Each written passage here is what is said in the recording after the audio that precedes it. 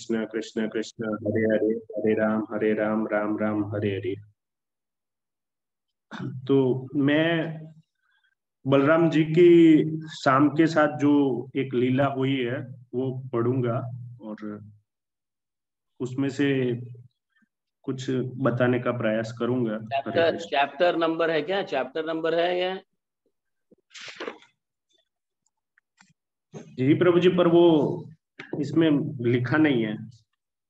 Means ये short में करके दिया है तो ये कृष्ण बुक में से है? हाँ लीला शाम की कृष्ण और श्रीमद भागवतम दोनों में आती है। अच्छा अच्छा ठीक है। तो एक बार दुर्योधन की पुत्री लक्ष्मणा का स्वयंवर होता है। तो उसमें कृष्ण भगवान और जामवती के पुत्र जो है शाम वो शाम शाम हाँ शाम वो वहाँ पे जाते हैं और लक्ष्मणा का हरण कर लेते हैं। तो तब जो है दुर्योधन आदि छह महारथी होते हैं वो शाम का पीछा करते हैं और फिर उससे लड़ते हैं। तो शुरू में तो शाम उनसे अच्छे से लड़ पाता है, पर बाद में वो छह महारथी से परास्त हो जाता है। तो नारद मुनि जो है, वो ये बात द्वारिका में, सभा में कहते हैं। तब उग्रसेन जो है, वो ऐसा बोलते हैं कि हमें हस्तिनापुर पर आक्रमण करके शाम को बचाना चाहिए। तो फिर तब जो है दुर्योधन, अरे, बलराम जी जो है, वो बीच में पढ़ते हैं और बोलते हैं कि वो भी हमारे संबंधी ही है। तो हमें पहले शांति से प्रयास करना चाहिए और फिर नहीं मानते तो हम दूसरा विकल्प देख सकते हैं। तो इसीलिए फिर बलराम जी जो है, वो उद्धव जी और अन्य ब्राह्मण और वरिष्ठ जो भी है, उनको साथ लेके हस्तिनापुर के बाहर रुकते हैं। तो उद्धव जी जो है वो हस्तिनापुर की सभा में जाते हैं और ध्रुतराष्ट्र आदि को बताते हैं कि बलराम जी जो है वो यहाँ पे आए हुए हैं, हस्तिनापुर के बाहर छावनी में रुके हुए हैं। तो ध्रुतराष्ट्र जो है वो ध्रुतराष्ट्र और दुर्योधन जो है वो बल भले ही आसुरी प्रकृति के थे, पर वो बलराम जी को अपने घर का हितेशी मानते थे। तो वो बहुत खुश हो जाते हैं। और फिर दुर्योधन वगैरह उद्धव जी का भी स्वागत करते हैं अच्छे से और फिर बलराम जी से मिलने जाते हैं। तो वहाँ पे बलराम जी को उनके लिए अलग अलग मतलब वो अतिथि है तो उनके अलग अलग सामग्री से स्वागत करते हैं, प्रणाम करते हैं और फिर बलराम जी बताते हैं कि आपने शाम को कैद कर लिया है। तो आप उ, उसे लक्ष्मणा के साथ परत कर दीजिए। तो दुर्योधन जो है वो बड़ी उद्दंड से बताता है कि भाई यदुवंशी जो है वो एक छोटे से कस्बे के राजा है और उसको संभाल रहे और हम सम्राट है। तो आप ये कैसे अपेक्षा कर सकते हैं कि हम आपको जो है लक्ष्मणा को दे देंगे? तो इस तरह से बहुत उद्दंडाई से सब बताता है और फिर वो वापस चले जाते हैं। तो बलराम जी जो है फिर ऐसा समझते कि अब इनको कुछ पाठ इनको पढ़ाना चाहिए, क्योंकि बलराम दुर्योधन बोलते कि यदुवंशी है वो मतलब इस तरह से कैसे अपेक्षा करते हैं। और आप राज सिंहासन के अधिकारी नहीं हो और इस तरह से तो फिर बलराम जी बोलते हैं कि जो सुधर्मा सभा को हम, हमारे पास रखते हैं और देवताओं के पारिजात वृक्ष भी हमारे पास है तो वो श्री कृष्ण क्या राज सिंहासन के अधिकारी नहीं है क्या? जिस, जिनकी साक्षात लक्ष्मीपति राजोतित सामग्री से सेवा करती है, वो क्या राज सिंहासन के अधिकारी नहीं है? फिर बोलते कि ब्रह्मा, शंकर, मैं, लक्ष्मी भी जिनके अंश है, वो श्री कृष्ण क्या राज सिंहासन के अधिकारी नहीं है? तो इस तरह से फिर वो बलराम जी अपने हल से पूरे हस्तिनापुर को गंगा जी की तरफ़ खींचते हैं। गंगा जी इसमें बताया है लास्ट में कि दिल्ली से वृंदावन तक का जो भी गंगा जी का वो पार्ट है, उसी को, यमुना जी का जो पार्ट है, उसी को गंगा जी कहा है। तो गंगा जी की तरफ़ हल से हस्तिनापुर को खींचते हैं तो पूरा हस्तिनापुर है, वो गंगा जी में ऐसे डूबने लगता है। तो फिर दुर्योधन आदि सब ऐसे बहुत ही टेंशन में आ जाते हैं और फिर उनको अपनी गलती का एहसास होता है और वे सब समझ जाते कि ये बलराम जी हम पर कोपित हुए हैं और बाद में सब उनकी शरण में जाते हैं और अपनी भूल के लिए क्षमा याचना करते हैं और फिर लक्ष्मणा को शाम के साथ उनको परत करते हैं और साथ में काफ़ी सारा उनको दहेज देते हैं। और इस तरह से फिर अपनी माफ़ी मांगते हैं और फिर बलराम जी की अलग अलग श्लोकों से स्तुति करते हैं कि आप जो है, आपको विद्वान ऐसा कहते कि आप ही जगत की स्थिति, उत्पत्ति और नाश का कारण है। तो और आपका इस तरह से फिर हे हज़ार मस्तक वाले अनंत, आप ही इस भूमंडल को अपने मस्तक पर लीला के द्वारा धारण करते हैं। और प्रलय काल में सर्व जगत आप ही में लीन होता है। इस तरह से अलग अलग श्लोकों के द्वारा स्तुति करते हैं। तो भगवान बताते कि मेरे जन्म और कर्म जो है वो दिव्य है। तो अलग अलग लोग इस लीला को मॉरल ऑफ़ द स्टोरी में मतलब अलग अलग इसका निष्कर्ष निकालते हैं। तो एक श्रीमद भागवतम अध्यात्म रहस्य उसमें इस तरह से बताया है कि सांब जो है स मतलब शिव मतलब जो दैवी और अम्ब मतलब अम्बा मतलब प्रकृति। दैवी प्रकृति दै, सांब मतलब दैवी प्रकृति का प्रतीक है और लक्ष्मणा जो है वो आसुरी प्रकृति का प्रतीक है। तो जीव जब दैवी प्रकृति को अर्जित करके आसुरी प्रकृति पर विजय प्राप्त करने का प्रयत्न करता है तो जिस तरह से दुर्योधन, भीष्म आदि छह महारथी शाम पर हमला करते हैं, उसी तरह जीव पर आसुरी प्रकृति के जो छह महारथी है, काम क्रोध, लोभ, मोह, मद, मत्सर्य, वो हमला करते हैं। तो शुरू मत इसमें सांब जैसे शुरू में अच्छे से उन महारथियों का अच्छे से युद्ध उनके साथ युद्ध करता है। उसी तरह जीव गुरु की कृपा से जो ज्ञान प्राप्त करता है, उससे कुछ समय तो अच्छे से इन आसुरी वृत्तियों के जो महारथी है, उनके साथ लड़ता है। पर जैसे सांब अकेला होता है, इसके कारण हार जाता है। उसी तरह जब भी जीव अकेला दूसरों भक्तों के और गुरुजन के कांस्टेंट मार्गदर्शन में नहीं रहता और अकेले ही ऐसा सोचता है कि मैं ज्ञान के बल पर इन आसुरी प्रकृतियों पर विजय प्राप्त कर लूँगा तो वो भी थोड़े समय के बाद हार जाता है। और फिर जैसे नारद मुनि द्वारका में बताते हैं कि इस तरह से शाम को बंदी बना लिया है तो उग्रसेन जो है वो सीधा युद्ध करने की बात करते हैं। पर बलराम जी जो है, उनका शिष्य था दुर्योधन। तो बलराम जी युद्ध नहीं कर, करने देते और शांति से पहले शांति प्रस्ताव रखते हैं।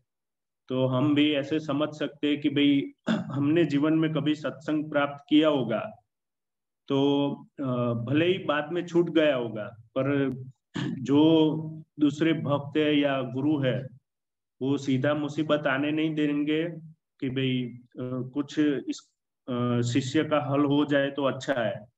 तो उसी तरह से वो कुछ बीच का रास्ता निकालेंगे जिससे जो अज्ञानी जीव है उस पर कोई इतना बड़ा भक्तों का कोप न आए। और बाद में हम देखते हैं कि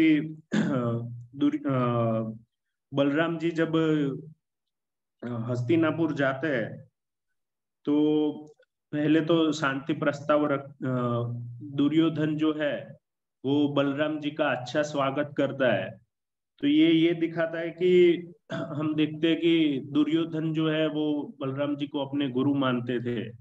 तो आसुरी प्रकृति का जीव भी जो है वो कुछ समय सत्संग प्राप्त करता है तो उसमें थोड़ी नम्रता आ जाती है।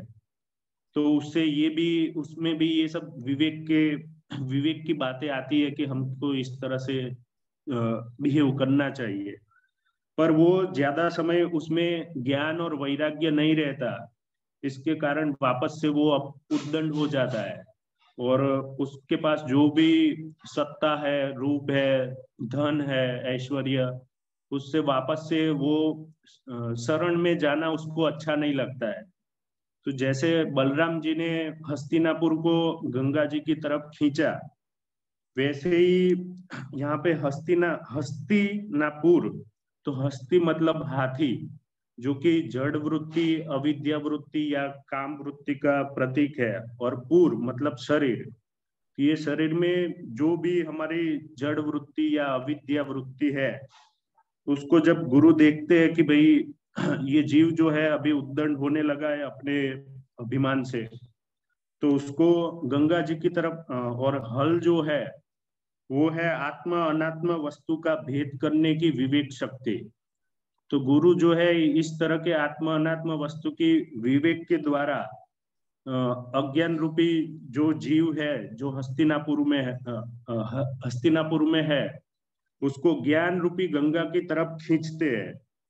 और इस तरह से जब वह जीव गंगा, ज्ञान रूपी गंगा में जब वो बहने लगता है तो उसको अपनी जो भी गलती है, वो उसको समझ में आती है। और इस तरह से वह फिर वापस अपने गुरु में, गुरु की शरण में आता है। हरे कृष्णा। अच्छा। ये अपने किसी आचार्यों की टीका के माध्यम से कहा गया है?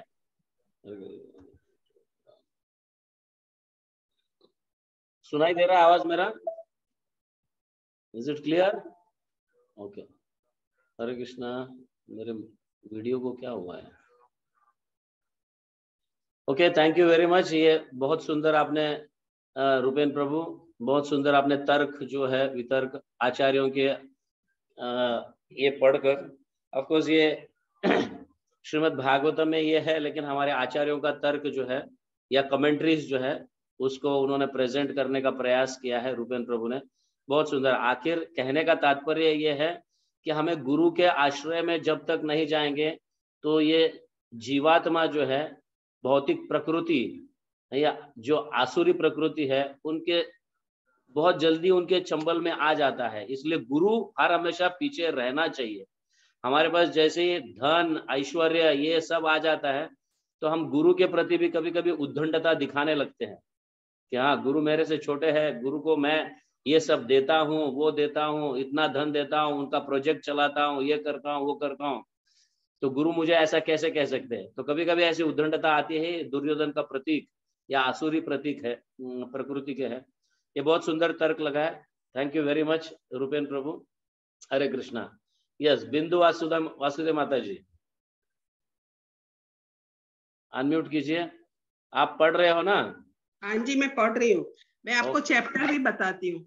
ओके ओम अज्ञानतिमिरादंस्य ज्ञानाजन शलाकया चक्षुरुन्मिलितेन तस्मै श्री गुरुवे नमः। ओम नमो विष्णु पदाय किस्पेष्टाय भूतले श्रीमते भक्ति वेदांत स्वामी नामे। नमस्ते सरस्वत देवे गौरवाणी प्रचारिणे। निर्विशेष शून्यवादी देश तारिणी हरे कृष्ण। प्रभु जी वो सेवेंटी प्रभु जी हरे कृष्णा दलवत प्रणाम सेवेंटी नाइन चैप्टर है। सेवेंटी नाइन चैप्टर वाल्व का उद्धार तथा बलराम जी का पवित्र स्थानों में भ्रमण करना। बहुत अच्छे अच्छा लग लिखा हुआ इसमें। पढ़ू मैं? हाँ तो पढ़िए पढ़िए। फिर आ, आ, एक मिनट। कल्पना माता जी आप ध्यान में रखिए वो कहाँ पे कौन सा चैप्टर है? वो बाद में आपको उसके आगे पढ़ना है। आप आप पढ़ी नहीं थी? बिंदु वासुदेव माता जी आपने बलराम के विषय में पढ़ी नहीं थी दो तीन दिन पहले? नहीं मैं तो पढ़ी हूँ पर मैंने बोला कोई नहीं हाथ हटा रहा तो मैं कर लेती हूँ इसलिए। मेरे को अच्छा लगता है पढ़ना मेरे को अच्छा लगता है। अब कहे तो पढ़ती हुई तो बोलो जैसे बोलो। ओके ओके ठीक है एक हाथ एक हाथ पैराग्राफ पढ़िए फिर हाँ बाद में कल्पना माता जी उसको कंटिन्यू कर सकते हैं। हाँ सेवेंटी नाइन चैप्टर है। बाल्व का उद्धार तथा बलराम जी का पवित्र स्थानों में भ्रमण करना। बलराम जी ने वल्वासुर का सामना करने के लिए तैयारी की। सामान्यतः जिस समय वह असुर उस पवित्र स्थान पर आक्रमण करता था, उस समय एक भयंकर ओला दृष्टि होती। संपूर्ण आकाश धूल से ढक जाता और वातावरण गंदी, दुर्गंध से भर जाता। इसके कुछ ही समय बाद दुष्ट बलवासुर यज्ञ की वेदी पर प्रचुर मात्रा में मल एवं मूत्र, अन्य अशुद्ध पदार्थों की वर्षा करने लगा। इस अभ्यागार से पश्चात असुर एक त्रिशूल को अपनी भुजाओं में पकड़कर प्रकट हुआ। वह एक विशाल व्यक्ति था और उसका काला और शरीर कोयले के जैसे विशाल और ढेर के समान था। उसके केश, उसकी दाढ़ी तथा मूछ तांबे की भांति लाल प्रतीत हो रही थी और उसकी बड़ी दाढ़ी और मूछ की वजह से उसका चेहरा अत्यंत भयानक एवं खतरनाक प्रतीत हो रहा था। जैसे उन्होंने उस असुर को देखा, वैसे ही श्री बलराम उस पर आक्रमण करने के लिए तैयार हो गए। वे सर्वप्रथम विचार करने लगे कि इस प्रकार ये असुर के टुकड़े टुकड़े कर सकते बलराम जी ने अपनी गदा एवं हल का स्मरण किया तथा वे दोनों वस्तुएँ तत्काल ही उनके सम्मुख प्रकट हो गई। बलवासुर आकाश में उड़ रहा था। तथा वह प्रथम अवसर भी बलराम ने अपने हल के द्वारा उसे नीचे घसीट लिया तथा क्रोधित होकर अपनी गदा के असुर को सिर का, सिर को चूर चूर कर डाला। बलराम जी के द्वारा आक्रमण करने पर असुर का ललाट फट गया। उसके ललाट में अत्याधिक रक्त बनने लगा और वह ज़ोर ज़ोर से चिखने लगा। इस प्रकार वह असुर को धर्मपरायण ब्राह्मणों के लिए घोर अशांति का कारण था। धरती पर गिर पड़ा। उसका गिरना विशाल पर्वत की रक्तबाण रक्तवर्ण वाली चोटी पर ब्रजवात गिरने तथा धरती पर टूटने का समान था। नैमिषारण्य के निवासी विद्वान ऋषि तथा ब्राह्मण दृश्य देखकर अत्यंत प्रसन्न हो गए। तथा उन्होंने अपनी सादर वंदनाएँ बलराम जी को अर्पित करी। उन्होंने अपने हार्दिक हार्दिक आशीर्वाद श्री भगवान को अर्पित किया तथा सभी ने स्वीकार किया कि कुछ भी करने पर श्री बलराम का प्रयास कभी भी असफल नहीं हुआ। ऋषि एवं ब्राह्मण तत्पश्चात श्री बलराम का धर्मानुष्ठान समारोह संपन्न किया। ठीक उसी प्रकार जैसे राजा इंद्र को असुरों पर विजय पाने के अवसर पर देवताओं द्वारा स्नान कराया जाता है।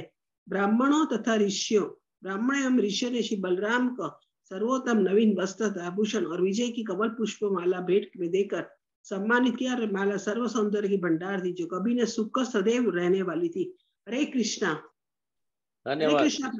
थैंक यू थैंक यू माता जी थैंक यू धन्यवाद। यस योगेश्वर कृष्ण प्रभु कौन पढ़ रहे हैं?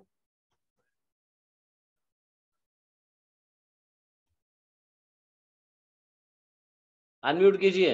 यस हरे कृष्ण प्रभु जी। ये प्रभु जी वेरी नाइस लगने के लिए किया और एंड रेस हो गया है। वो ऐसा है। अच्छा अच्छा। बाई मिस्टेक हुआ है। ओके ओके ठीक है। उसको उसको ये कर दो। सुरेंद्र प्रभु। नहीं लोअर एंड किया लेकिन प्रभु जी नहीं हो रहा है। अच्छा ठीक है।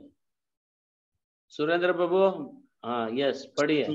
दंडोत प्रणाम प्रभु मैं मोबाइल से पढ़ता हूँ तो वीडियो ऑफ़ रहेगा थोड़ा ना ओके ठीक है। वह वहाँ से ही पढ़ो जहाँ पे वो एंड हुआ था।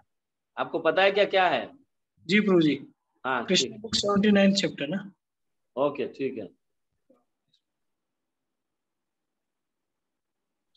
ओम अज्ञानतिमिरान्धस्य ज्ञानञ्जना शलाकया चक्षुरुन्मिलितं येन तस्मै श्रीगुरुवे नमः। नमो विष्णुपादाय कृष्णपृष्ठाय भूतले। श्रीमते भक्तिवेदान्त स्वामी नामिने नमस्ते सारस्वते देवे गौरवाणी प्रचारिणे। निर्विशेष शून्यवादी पाश्चात्य जय श्री कृष्ण चैतन्य प्रभु नित्यानंद श्री अद्वैत गदाधर शिवासादि गौर भक्त वृंद हरे कृष्ण हरे कृष्ण। कृष्ण कृष्ण हरे हरे हरे राम हरे राम राम राम हरे हरे। इस घटना के पश्चात श्री बलराम ने नैमिषारण्य में उपस्थित सभी ब्राह्मणों से आज्ञा ली तथा अन्य ब्राह्मणों सहित वे कौशिकी नदी के तट पर पहुँचे।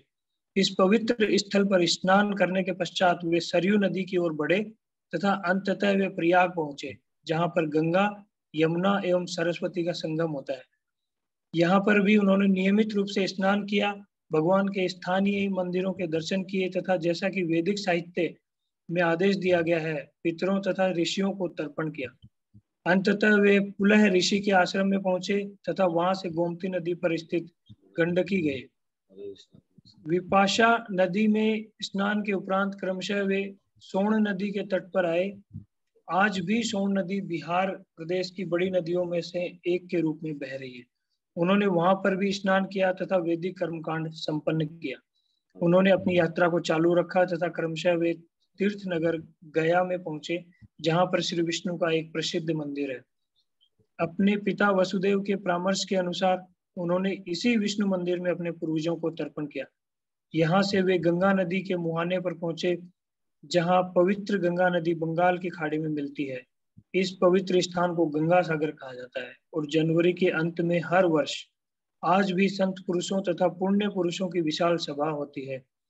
जिस प्रकार हर वर्ष प्रयाग में संत पुरुषों की सभा होती है, जिसे माघ मेला कहा जाता है।